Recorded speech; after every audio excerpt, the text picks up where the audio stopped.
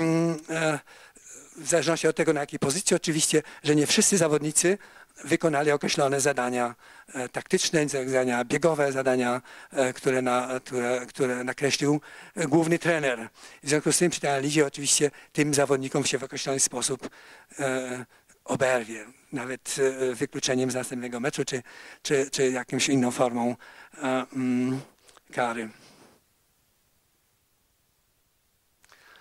I teraz krótko co, co, do, co, do, co, do tej koncepcji E, pracy mm, z zespołem. Jeśli mamy ten cały materiał e, e, analityczny, możemy wtedy przystąpić do pewnych, pewnych do pewnej koncepcji. Jak wiemy, każdy trener ma własną, własną filozofię treningu, własną koncepcję tej pracy, ale generalnie można powiedzieć, że wygląda to w ten sposób, że te, te podstawowe zakresy szkolenia to jest technika, taktyka, metodyka, motoryka oraz psychika i osobowość, rozwój psychiki i osobowości zawodnika. To jest główne, główne zadanie. Do techniki mamy tego e, e, trenera e, specjalnego, do taktyki mamy tego drugiego trenera i głównego trenera, do motoryki jestem ja i ten mój kolega. Zaraz do tego przejdziemy. Rozdzielone to jest na, na, na, na, na cztery, cztery okresy e, treningowe, cykle treningowe przygotowawczy, który nas e, najbardziej interesuje i może tutaj krótko do, do tego okresu przejściowego. Ja też będę, pokażę Państwu tutaj wzór treningu w tym okresie przejściowym dla jednej grupy e, naszego zespołu. Tak, technika, nie musimy wiele się tutaj zastanawiać, to są te elementy, które występują non-stop na każdym treningu. I, I właśnie ten, ten młody człowiek się tym zajmuje e, z dużym skutkiem e, i, i po prostu um, to nie jest tak, że, że, że ci wielcy zawodnicy którzy, którzy, o których się mówi, że to są kompletni zawodnicy, że mają świetną technikę, że mają świetne wyszkolenie taktyczne, że, że mają określoną świetną bazę e, motoryczną, e, że nie muszą już się tych rzeczy e, powtarzać i, i trenować. Niestety jest tak, że, że to są elementy, które muszą być non-stop konsekwentnie powtarzane. Jeśli chodzi o taktykę, w naszym zespole co najmniej jest tak, że, że e, w tym okresie przygotowawczym, czyli w ciągu tych sześciu tygodni, e, pierwsze dwa tygodnie są poświęcone na, na tak zwane duże formy gier, um, uzupełnione o inne formy treningowe, że są gry jak, jak, jak, jak powszechnie znane z, z zespołami o, o mniejszym poziomie sportowym.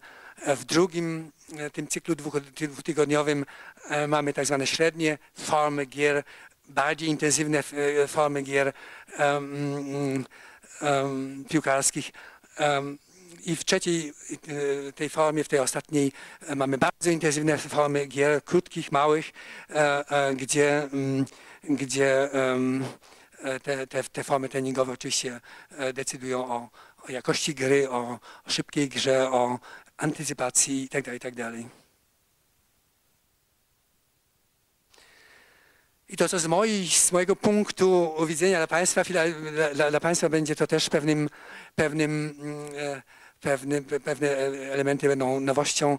E, wprowadziliśmy do naszego treningu. To jest tak zwane przygotowanie do treningu. Zespołowe i indywidualne. Zespołowe raz w tygodniu. Pierwszy trening w tygodniu to jest, to jest wtorek. Powiedzmy, jeśli ten cykl jest taki, że w sobotę gramy, niedziela regeneracja, poniedziałek wolny, wtorek pierwszy trening, przygotowanie do treningu w tym treningu, przygotowanie do treningu.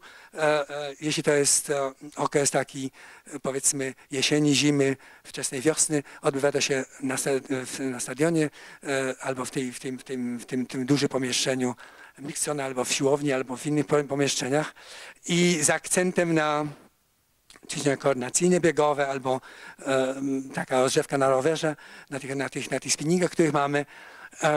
później tak zwana dynamiczna, balistyczna gibkość, tak, taki blok tej, tej gibkości. Um, następna to jest punkt e, ważny, to jest tak zwana stabilizacja tułowia. E, mówimy o, w piłce nożnej, że, że, że um, jest ważna stabilizacja tułowia i siła nóg. To jest e, podstawa do, do pracy, do pracy piłkarskiej. I tu mamy szereg różnych, różnych, e, e, szereg różnych możliwości e, kształcenia tej, tej, tej stabilizacji tułowia z różnymi e, drobnymi elementami, które, które, które łatwo można wprowadzić. I ważny, ważny punkt to jest e, w tym przygotowaniu treningu jest ten trening sensomotorycznych, propriocepcja. Um, a więc e, tak zwane czucie głębokie na tych różnych matach, na tych, na tych um, um, niestabilnych e, e, urządzeniach do tego i to zajmuje w granicach 30 minut. To przygotowanie indywidualne do treningu um, znajduje miejsce we czwartek.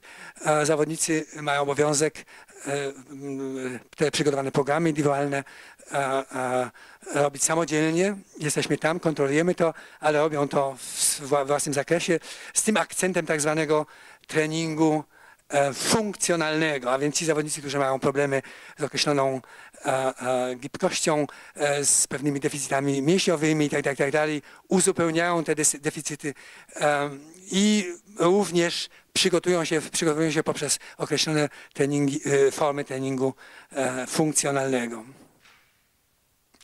trening siły, siły e, tułowia i górnych partii mięśniowych jest ulokowany w niedzielę w treningu tak zwanym regeneracyjnym. Ten trening niedzielny jest tak skonstruowany, że jedna grupa, która, która e, nie grała albo ma, bardzo mało grała, e, robi trening intensywny e, form, treningo, form piłkarskich i później trening siłowy, a ta, ten, ta, ta grupa, która, która grała powyżej 60 minut, ma trening regeneracyjny, jest to trening biegowy albo trening na rowerach albo w wodzie, a później ma trening siły tułowia, obręczy barkowych, górnych partii mięśniowych. Ten prawdziwy trening siłowy na partie e, dolne, na, na mięśnie nóg e, za, zaplanowaliśmy na środę, na popołudnie. E, uważamy, że to jest najodpowiedniejszy i to nam zdało w pewnym, w pewnym dużym stopniu egzamin. Robimy go po południu w dwóch, a nawet w trzech grupach. Najpierw bramkarze, później jest grupa, która, która mniej gra, a więc grupa B, a, a dopiero na końcu jest grupa tych zawodników z kadry,